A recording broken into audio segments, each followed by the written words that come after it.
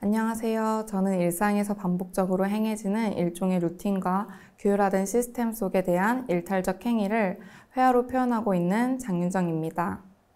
주로 회화의 기존 관습이나 프레임에 대한 질문에 관심을 가지면서 유화, 아크릴 물감, 오일 스틱, 여러 미디엄을 이용해 화면 안에서 나타낼 수 있는 다양한 표현을 실험하고 있습니다.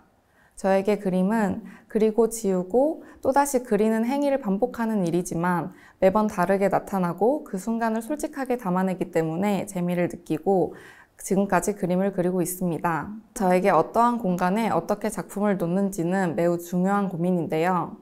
기존의 작품과 새롭게 작업한 작품이 한 공간 안에서 조화롭고 또 새롭게 보이게 하고 싶었습니다.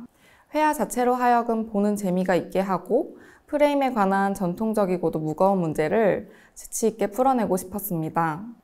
오랜만에 작업한 입체물이 단지 조각이 아닌 관객이 직접 경험하고 그 경험이 태도면에서 회화를 다시 보게 하는 작품에 대해 고민을 했습니다.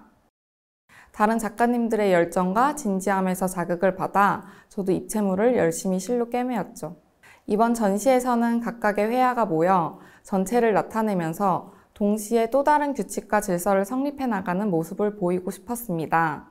하나의 그림이 다른 그림과 만나 서로 균형을 이루고 또 충돌을 만들어내면서 새로운 한 화면으로 조합됩니다. 완성되지 않은 각들, 완벽에서 벗어난 모순들, 불명확하고 비정형적인 형태들, 그 밖의 감각적 요소들이 동원되어 한 덩어리에 응집되어 있는 회화를 나타내고 있습니다. 실제로 비정형적인 모양들이 모여 마치 반죽 덩어리들이 붙어진 듯한 번즈가 공간에 자리하면서 화면에서 이어지고 벗어나 몸으로 마주해 회화의 촉각적 재미를 느껴가길 기대합니다. 저에게 회화란 사랑스러운 왼수 같은 존재입니다. 여전히 저에게 가장 매력적으로 느껴지고 또 새롭고 항상 고뇌에 빠뜨리게 하는 존재입니다.